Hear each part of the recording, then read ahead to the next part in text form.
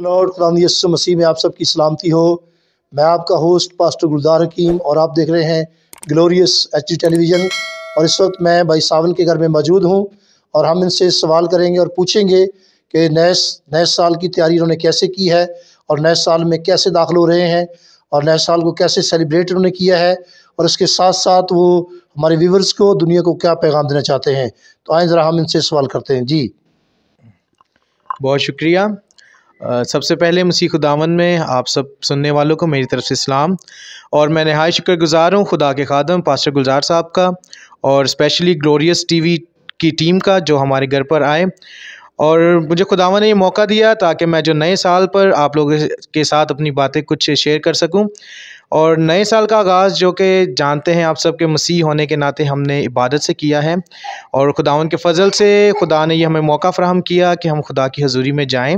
और अच्छे से अपने नए साल का आगाज़ खुदा के मुबारक नाम से हम कर चुके हैं और हमने खुदा के साथ कुछ अहद किए हैं। और मेरी पूरी कोशिश है कि जो अहद खुदा के साथ मैंने बांधा है, खुदा मुझे इसमें कामयाब करे। और मेरा अहद ये है कि मैं खुदा के काम को, खुदा के जलाल को आगे बढ़ाने वाला बनूं। और इन सब के लिए आप लोगों की दुआएँ और खुदा के खादम, जो कि हमेशा हमारे लिए दुआएँ करते हैं। और मेरी उम्मीद है कि इनकी दुआएँ हमारे साथ होंगी तो ज़रूर हम अपने काम, मिशन में कामयाब होंगे, ताकि हमारी कोशिश है कि हमारे जितने नौजवान हैं, क्योंकि मेरा जो टारगेट है वो यही है कि चर्च में जो नौजवान हैं, उनको मैं खुदा की राह पर लेकर आऊँ जो कि भटक चुके हैं ताकि वो भी खुदा के जलाल के बारे में खुदा के बारे में जाने ताकि उनके वसीला से खुदा बथेरी ज़िंदगी को बचाने वाला बने। आमीन। सो so, देखा भाई सावन जो खुदा की खिदमत करते हैं और डीकर के अहदे पर फायज़ हैं और बड़ी ज़बरदस्त उन्होंने बातें की हैं और आज हमने भी खुदा के कलाम से सीखा है कि जो मसीह में है वो नया मखलूक है। तो ज़रूर है कि हमें नया मखलूक बनना है और इस तरीके से हम खुदा के कलाम पर अमल करें। और मैं भी एज ए खादम होते हुए ये पैगाम देता हूँ कि मसीही जवानों, ज़माना बदल दो। तो इस तरह हम हमारे दरमियान खुदा की खादमा, हमारी प्यारी बेटी हैं। बेटी नौरीन, हम इनसे भी सवाल करेंगे और मोना से कि वो नए साल के मौक़ों पर क्या कहना चाहती हैं। जी, इनसे बात करते हैं। मसीह में आप सबको इस्लाम पास्टर साहब, आपका बहुत शुक्रिया। आपने मौका दिया कि हम ग्लोरियस चर्च का जो टीवी चैनल है, उसके ज़रिए हम अपना पैगाम सब तक पहुँचा सकें।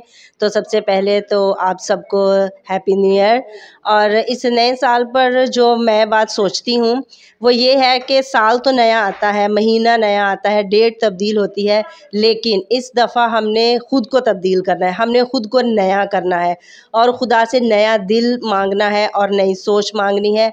और जब खुदा हमारे दिल को नया कर देगा तो वाकई फिर हम नए मखलूक हो के खुदा में शामिल होंगे और वो हमारी ज़िंदगी जो है वो ज़बरदस्त होगी। आप सबका बहुत शुक्रिया। आमीन। देखा वीवर बेटी ने कैसी ज़बरदस्त बातें की हैं। खुदा की खादमा है और बेटा खुदा का खादम है और बहुत ज़बरदस्त ये कलाम को डिलीवर कर रहे हैं।